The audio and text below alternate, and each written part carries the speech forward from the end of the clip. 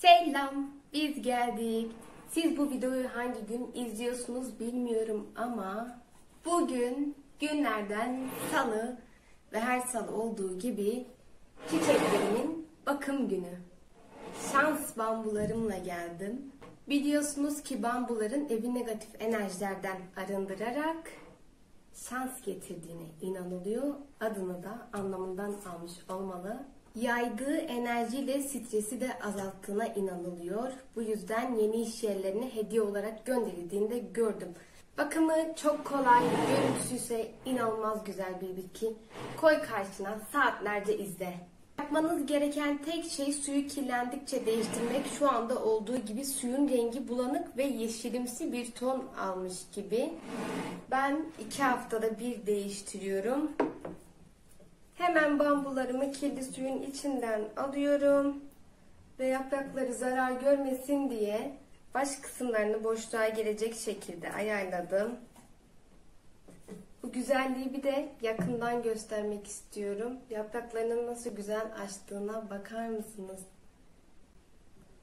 Hemen vazodaki kirli suyu döküp geliyorum ben.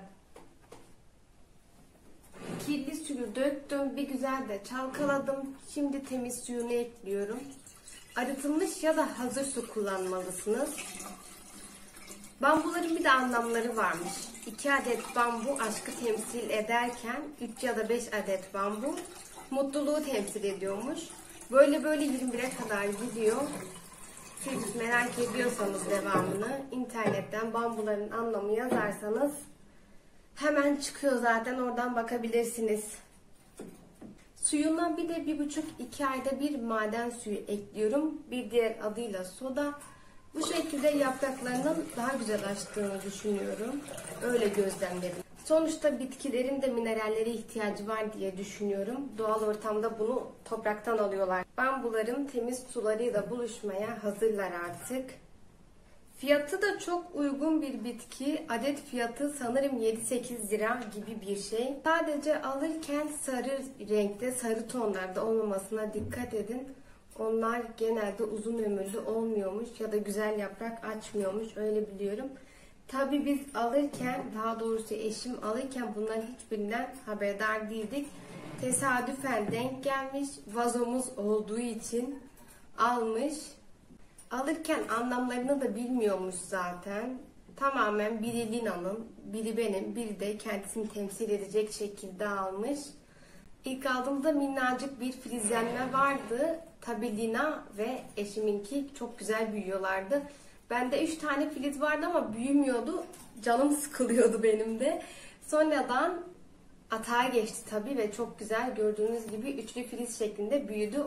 Onlarınkinde sadece iki filiz var. 4 ay kadar bir süre önce aldık. Çabuk büyüyorlar. İlk hallerini de göstereyim hatta. Bu ara bitkilere taktım. Baharın gelmesiyle verdiği enerji olsa gerek. Önceki videomda da avokado ekmiştim. Hatta göstereyim hemen şöyle yanı başımda.